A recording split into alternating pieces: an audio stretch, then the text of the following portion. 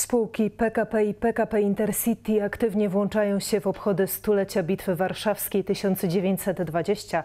Z tej okazji na polskich lokomotywach będzie można oglądać okolicznościowe grafiki, które nawiązują do cudu nad Wisłą. Bitwa Warszawska 1920 to chlubne zwycięstwo ważne nie tylko dla Polski, ale także całej Europy. Obroniliśmy wtedy Europę, cywilizację zachodnią, cywilizację chrześcijańską przed barbarzyństwem bolszewickim.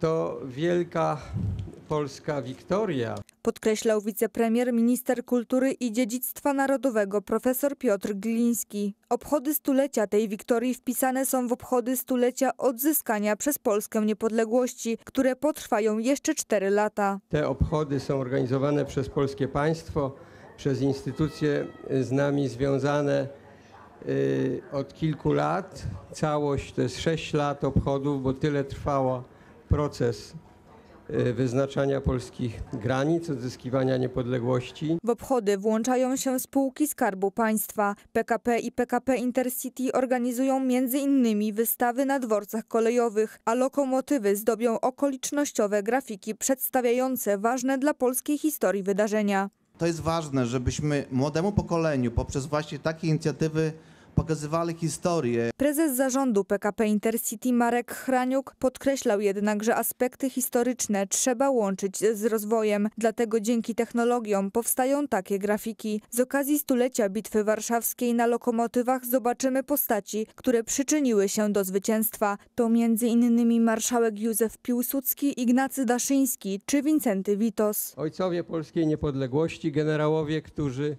y, no, są autorami tego cudu nad Wisłą, bo cud był oczywiście z pomocą opatrzności, ale także z pomocą y, profesjonali- profesjonalizmu y, naszych polskich żołnierzy. Organizatorzy wskazują, że przeszłość to tożsamość, a jej znajomość daje Polsce szansę na rozwój. Prezes zarządu PKP Intercity zaznaczył, że ten rozwój dotyczy także kolei, która prowadzi teraz największe inwestycje w ciągu ostatnich 30 lat. Obecnie spółka PKP Intercity prowadzi program inwestycyjny warty 7 miliardów złotych. Z tego ponad połowa jest już zakontraktowana na zakup i modernizację taboru oraz stacji kolejowej.